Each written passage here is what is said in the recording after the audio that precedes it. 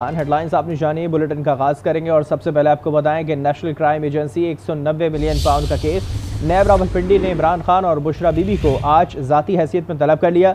नैब team ने जमान पाक पहुंचकर नोटिस वसूल कराए। बुशरा बीबी से बतौर ट्रस्टी रिकॉर्ड मांग लिया गया है। शहजाद अकबर को 22 मई को रिकॉर्ड समेत पेश होने के लिए नोटिस जारी कर दिया गया है। नैब ने शेख रशीद, फैसल वाउडा, अली जैदी और जुल्फी बुखारी को 24 मई को तलब कर लिया। जराये के मुताबिक कौमी एहतसाब ब्यूरो ने इमरान खान की तमाम अरकान काबीना की बयान रिकॉर्ड करने का भी फैसला कर लिया है। काबीना के बेशतर अरकान के बयान बतौर गवाह कलमबंद किए जाएँगे।